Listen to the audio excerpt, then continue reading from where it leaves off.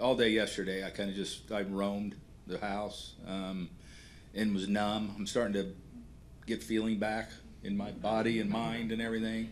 Um, you know, really just the, the thought that my God, we are. I'm. We're in the World Series. I mean, it's and how hard it is to get here.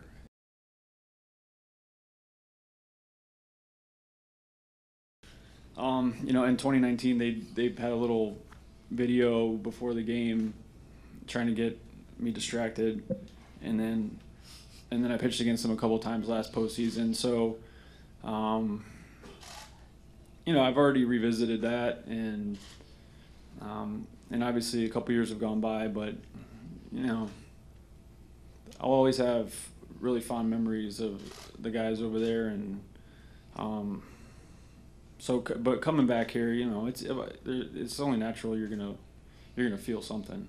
What that is, I don't I don't know.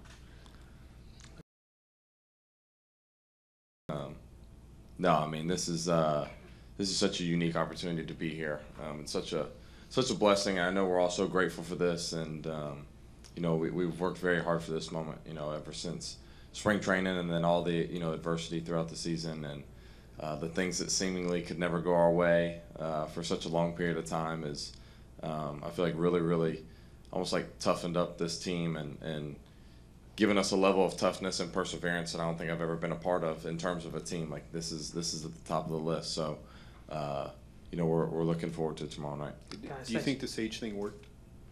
I don't know. You tell me. We're here, aren't we? Guys, thanks for your time. Appreciate it. I think we have a couple of your teammates waiting.